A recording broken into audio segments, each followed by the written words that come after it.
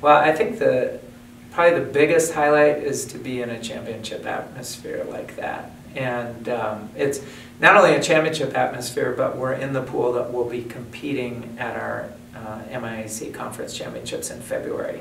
And it's arguably one of the top, you know, half dozen pools in the country. And we, we were able to see new competition against really high quality competition not only members of the University of Minnesota, but uh, University of Utah, which had a tremendous team, uh, San Jose State, uh, South Dakota State, and then Carleton and us. And so it's good for our athletes to be able to be in a championship environment like that, and then to see what really high quality swimming is too, because then they're gonna they're gonna up their game we had a couple relays that did really well. We have a couple national caliber relays in the medley relays. And for our women, uh, Kelly Punko, Sophia Nevin, Helen Jensen, Mo Wolf um, posted one of the top two or three times in our conference, but also a top 16 time nationally. And so that was really great. And then the men, we had uh, John Lofi and Gus Reynolds and Marcel Hones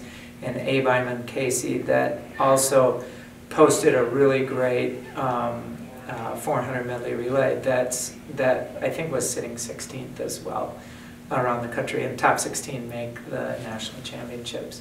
So that was good, and then um, John also was a finalist in, in three events, and again, going against Division One competition, that said a lot uh, for him, and he had a couple lifetime best swims in his 100 fly um, on a relay, and he also had a good 100 back and 200 back.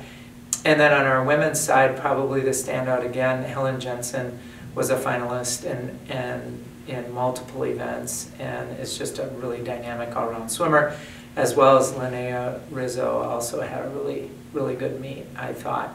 Um, but it's hard to it's hard to pull out just one or two names because honestly, um, as a team, we really stepped up to the challenge, and that was really fun to see.